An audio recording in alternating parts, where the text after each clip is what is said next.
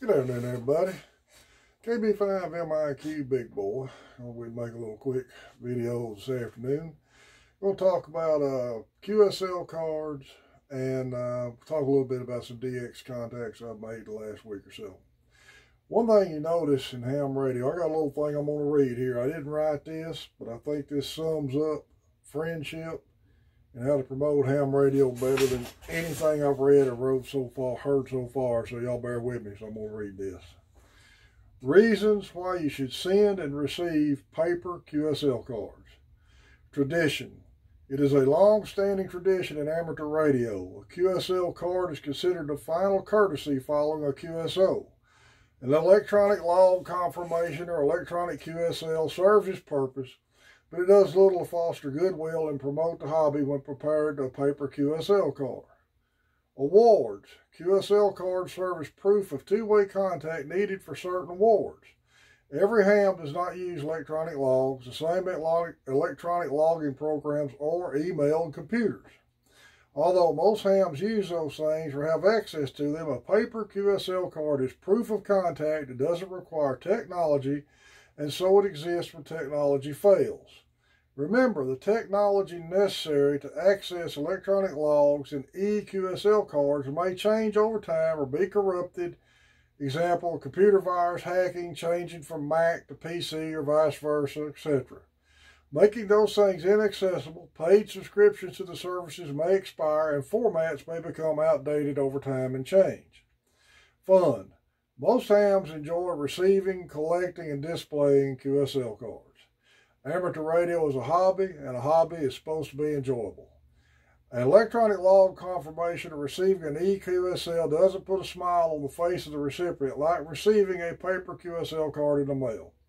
Paper QSL cards are so valuable and prized to hams, they're usually kept in QSL card binders or albums or displayed on the ham shack walls or even traded sold as collector's items. Friendship. Electronic logs and EQSLs are push button easy. And if we hams wanted nothing but push button easy, we'd all be talking to each other on our smartphones. When we're at our best, what unites us all is friendship, and you don't make a friend out of another ham simply by pushing a button to electronically verify a contact. Taking the time to design a aesthetically pleasing paper QSL card, have it printed, adding a personal note to it, signing it, and sending it in the mail says something about the amateur radio operator sending it and about how he feels about the operator that will receive it. Pushing a button may not cost a thing, but sending a paper QSL card and making a new friend is priceless. Promoting the hobby. I can think of no better way than a QSL card to explain the hobby to our non-ham friends. Imagine you just made a new friend on the other side of the world via ham radio, and you want to share that thrill with a visitor in your shack. Point out a log entry on a computer monitor, and you're likely to be met with indifference. Show the visitor a QSL card, you'll get a much more different response. That's what the other ham looks like? That's his station? You mean he cared enough to send you a postcard after you talk? The answers are yes, yes, and yes. Computer log entries are intangible to the rest of the world. A QSL card is something you hold in your hand.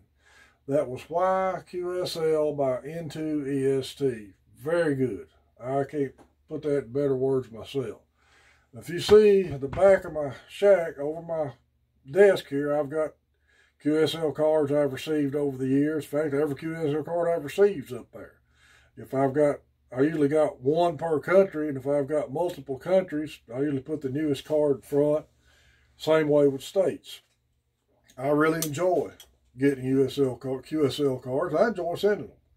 Uh, I'm 61 years old. I started doing this in 1991. So I can't do math in my head real quick, but I've probably been a ham 30 years anyway.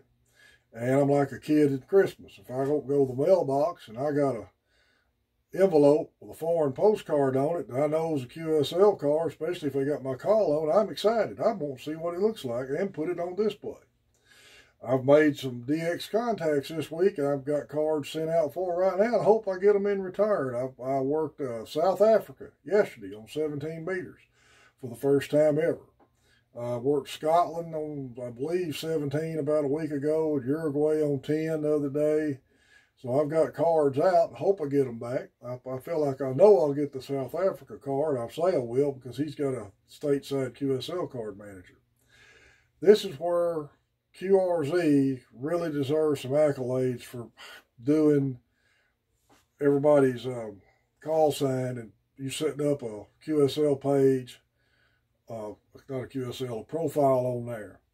You know, in the old days, you had to get the address from somebody over the air, or I did, and I couldn't afford to subscribe to the call book. I've owned some older call books. I'd go to Swap Meets and buy an older copy of it, but I never could afford to have the current call book in my shack all the time.